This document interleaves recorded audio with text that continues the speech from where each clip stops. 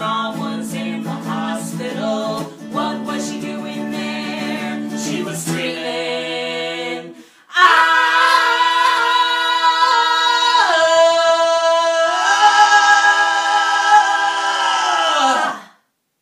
It's your birthday, yes it is your birthday, it's your birthday, yes it is your birthday, it's your birthday, yes.